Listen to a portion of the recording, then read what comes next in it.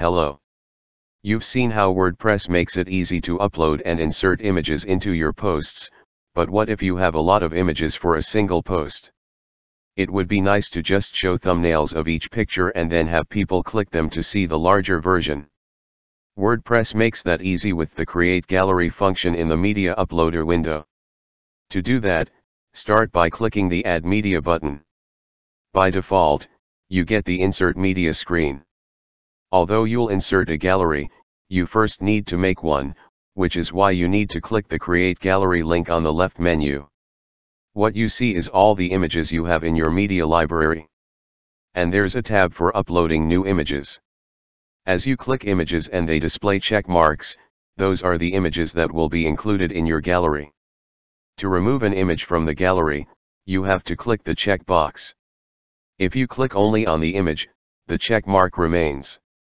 If you want to delete all items and start again, there's a clear link below the tiny thumbnails on the selected list at the bottom of the screen. These tiny thumbnails can help keep track of what you've chosen, because as you scroll through the media library, you can't see all the checked images at one time. If you click one of the tiny thumbnails, you can see all its details on the right side. After you have all your images selected, you can click the Create Gallery button at the bottom right, resulting in the Edit Gallery screen. Here's where you can make all kinds of adjustments to the gallery before inserting it in your post. This is also the screen you'd come back to for editing after inserting the gallery.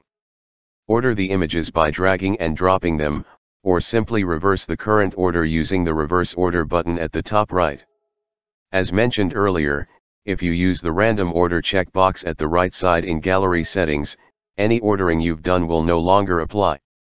You can get rid of images at this stage, as well with the tiny X at the top right of an image when you mouse over it. You can also see the caption this image box below each image.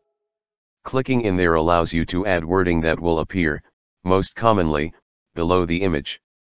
When all your images are ready, it's time to check your gallery settings on the right. These provide some control over display of the gallery, so, let me walk you through each of them. Firstly, the link to setting determines where visitors are taken when they click an image in the gallery. If you choose attachment page, the image links to a web page which is determined by your theme, this will often be the default single post template. What displays depends on the theme template, but typically, this includes the image title and description fields. Choosing media file displays the full-size version of the image in an empty browser tab or window. There are plugins for WordPress, that will automatically create the nice lightbox pop-ups that have become so popular. Often these plugins require that you set the link to function as media file, but you need to check with each plugin's documentation. Your final choice for linking images is to have no link at all. If you use the gallery in full-size mode, the none setting could be useful. Secondly, this sets the number of columns across the page, the default is 3. That's quite safe for most sites based on the default thumbnail size of 150 pixels. However, it depends on the thumbnail size and the width of your theme's content area, it's just a matter of experimenting, which is easy because you can switch the column quantity anytime. Thirdly, if you want the order of images in the gallery to be randomized every time the page is loaded, check this box of random order. Obviously, this overrides any order of images you made by dragging and dropping. After you finish with settings, you can click the Insert Gallery button at the lower right of the Media Uploader window. You should now see the gallery images in the content editor. While it looks like a lot of individual images, you can confirm it's a gallery by clicking any image. The entire group is enclosed in a gray box with an edit and delete icon at the top left. Just as you can edit an image that's been inserted into content, you can do the same with a gallery. Just click the pencil icon, that appears at the top right when you click the gallery in the content editor. You'll get the edit gallery screen of the media uploader window, but with a slightly different menu on the left. If you want to add images, just click the add to gallery link. A special screen called add to gallery is displayed, which shows the media library and has an upload files tab. If the media library looks a bit sparse in add to gallery, It's because none of the existing gallery images are shown, only ones available to add to the gallery display. You can choose as many as you like, then click the Add to Gallery button.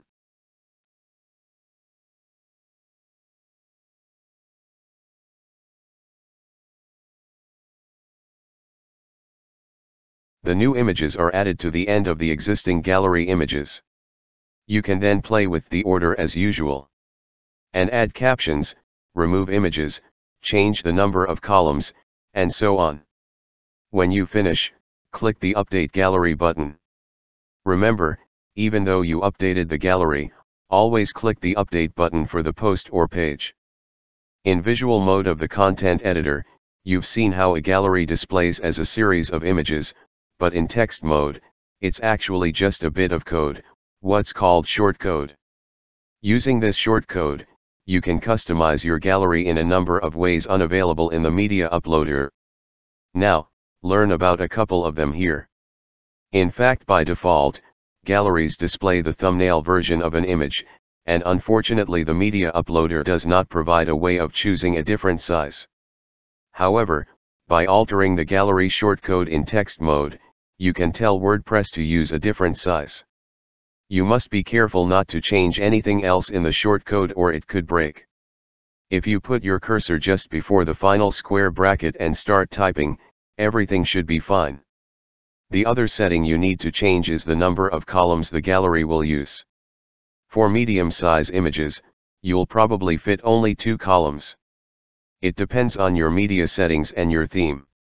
Now, you could edit your gallery through the media uploader and change the columns, but it can also be done through the shortcode as well. In the gallery screens of the media uploader window, you saw how to order images by dragging and dropping them, but you can also order them through the shortcode method using the order by attribute. In this example, the gallery would be ordered alphabetically according to the title of each image. Another option would be to order by the date the image was uploaded. Keep in mind that this is just an example. The numbers in the IDS attribute are random numbers I picked for illustration. The media uploader generates those IDs for you, I'm simply showing you where to add to the shortcode. I finished here the video, if you find it useful, subscribe for more video. Thanks and see you soon in the next videos.